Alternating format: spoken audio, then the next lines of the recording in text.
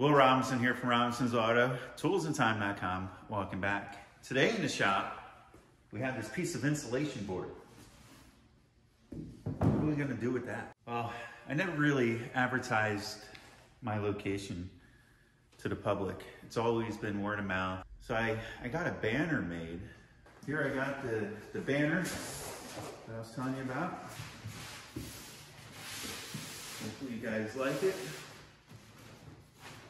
I'm gonna be using this 3M multi-purpose adhesive Super 77. Um, dries quick. It says for best practices, spray an even coat on each side, let it sit for one minute, and then, and then apply it. I have everything squared up here. What if I leave everything in place and do a little bit over a 50-50 split? Spray this out, roll it out.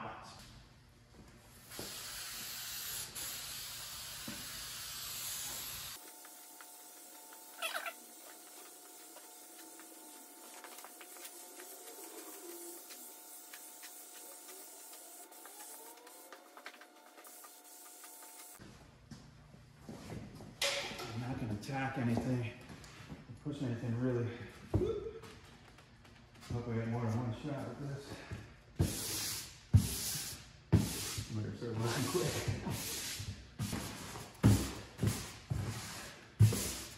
Well, that's why I bring you guys along with me, just in case you attempt to do something like this, you learn from my mistakes.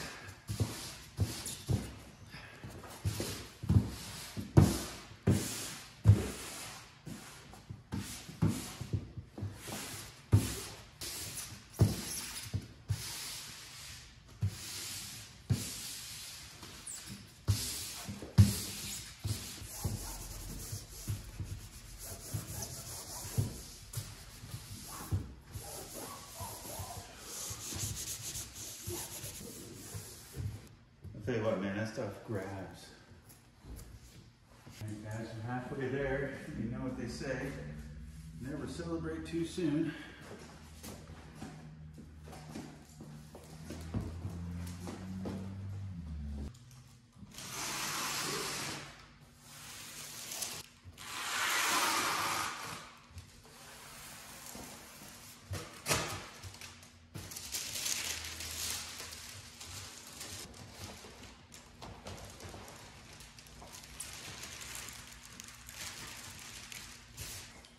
All they did down here was put, put some tape down, some paper down.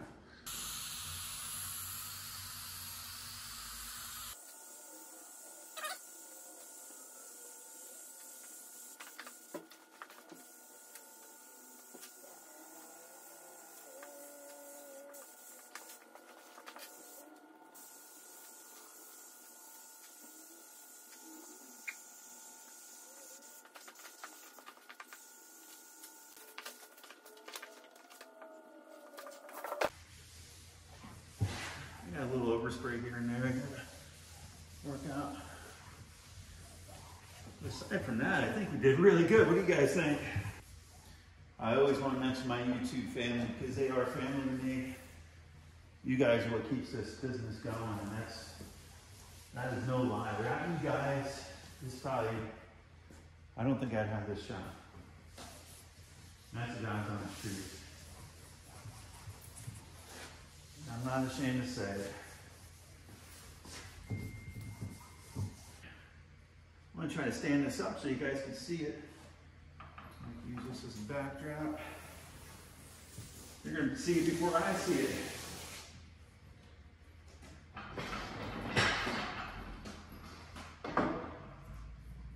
It's actually bigger than what I thought it was gonna be, but I love it. Robinson's Automotive home of the automotive self-help videos. Feel the pride, drive with confidence. You guys like that slogan? For years, I, I wasn't sure what to put on my business if I ever had it. It was always feel the pride, drive with confidence was one of them. Or yesterday's service, today's technology was another one that I always liked since I was a kid. Um, This one here, home of the automotive self-help videos. This one someone helped me come up with. Oh man, if I remember his name, I'll, I'll make sure to give him a shout out. However, I was creating a, a website for the first time. It was through Web Studio. And um, I didn't know a thing about websites. And they had this forum where people would help each other out. And this guy came on, Gordon, Gordy or Gordon. And he he liked the, the page I was coming up with, and he was like, "Oh man, you know, you should come up with a slogan." And we we bounced some ideas back and forth, and he actually came to me with this one, Homo the Automotive Self-Help Videos." I was like, "Wow, it's really unique," and um, something I'd never seen out there before. So I I held on to that, and uh, so that's thanks to him. Pretty lightweight. Like I said, I'm going to make a frame for it. This is four foot by eight foot. $250 in it by the time I'm done.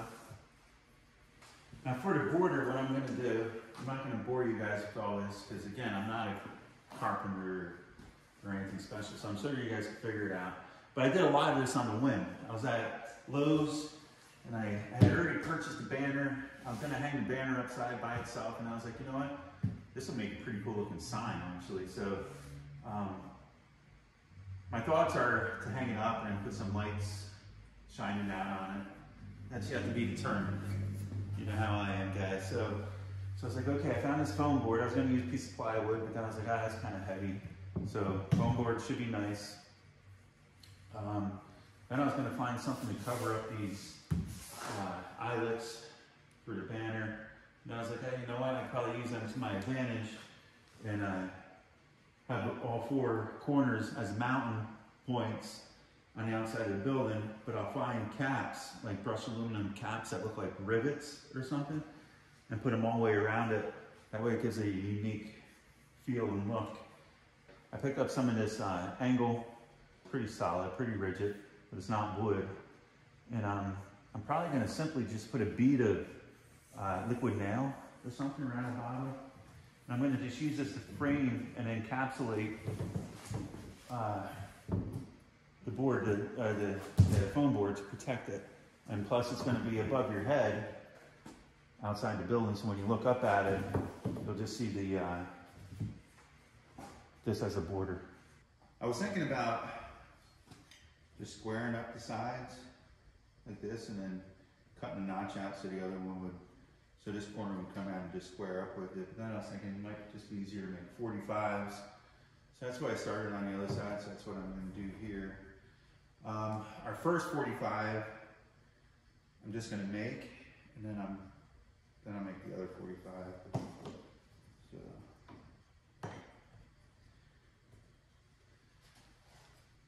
Do the best I can with what I got, you know what I mean?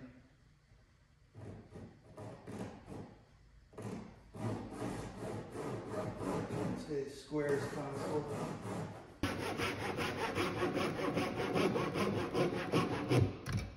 Alright. Go around. Put one midway. Now come down here and mark my edge. Had to print it printed up and then I got some foam board for the back. Are you gonna put it up front? Yeah, I put it up front. You're getting there, man. Get there. Are you ready to make the jump? Gonna make this cut. You know, you know the old saying, I'd rather it be a little too long than too short. That, oh, just to the other side, about midway. I got the top and bottom done. Now we're gonna do the sides. So on this cut, it's gonna be pretty straightforward. I just gotta match up to this one. So I'm gonna do my first initial cut as close as possible to the edge so I, I don't waste any material. Close as I can to the edge. There you go. Not bad.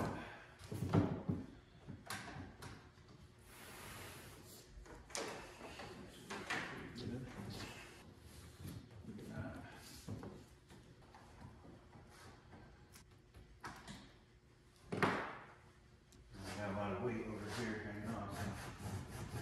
Again.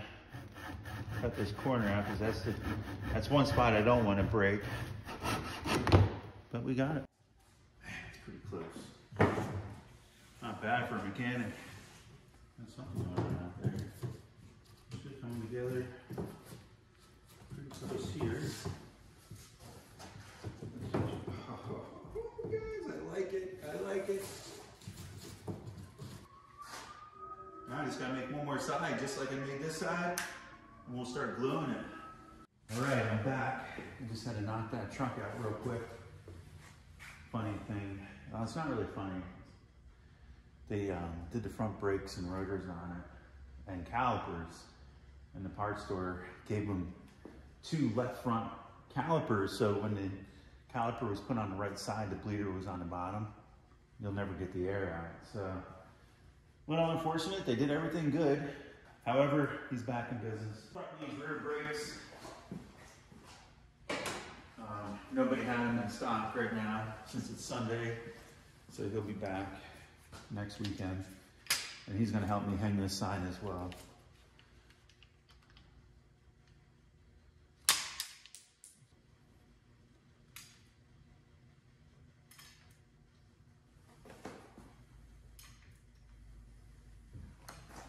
I don't think I need anything spectacular. to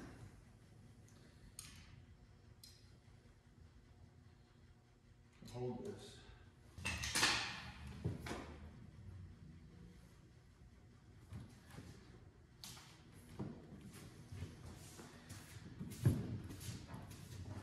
It says instant grab, so I guess we'll see.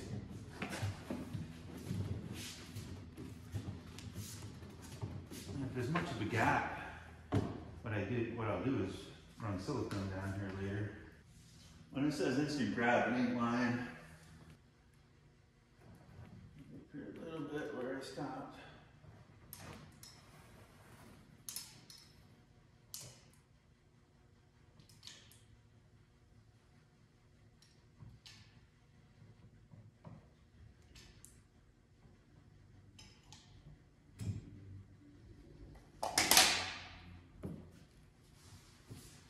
A little overkill, I know, but.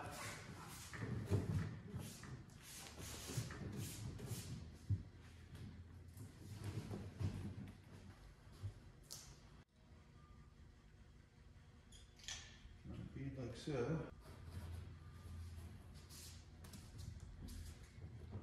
It might be a mechanic shop, but I've been around the block a couple times.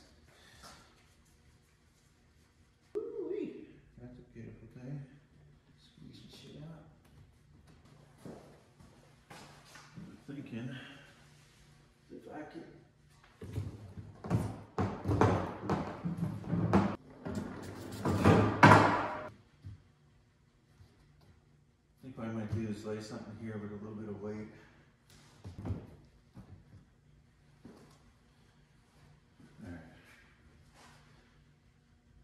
That helps. Maybe need something with a little bit of weight. Down here too. Yeah, put something here with a little bit of weight.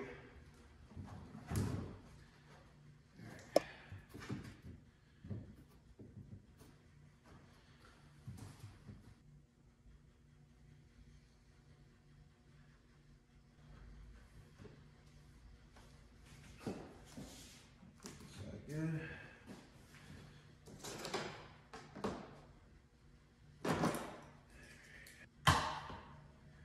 Do something right there for now. Then.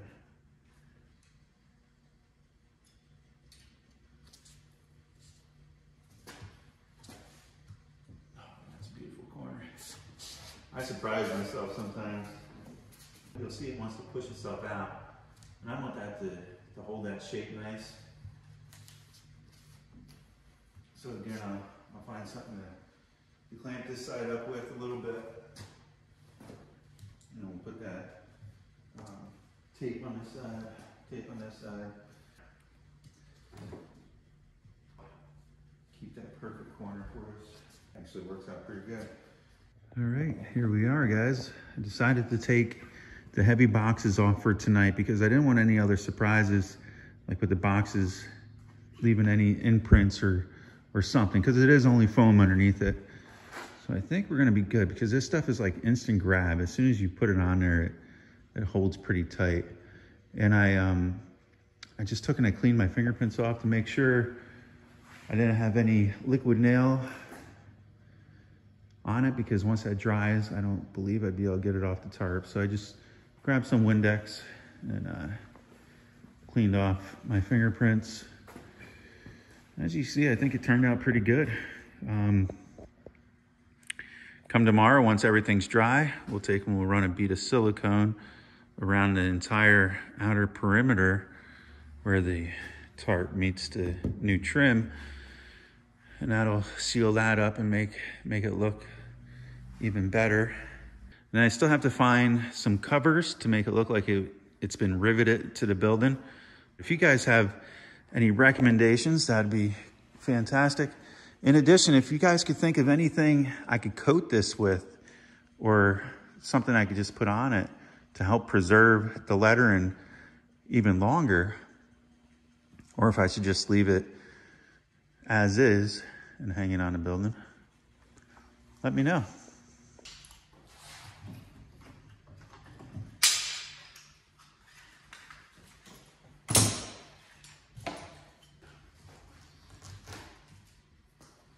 Pretty much that's the sign and it's finished.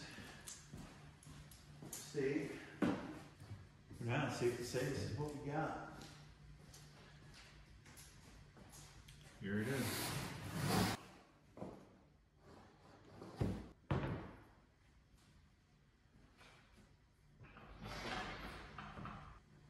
How's it look?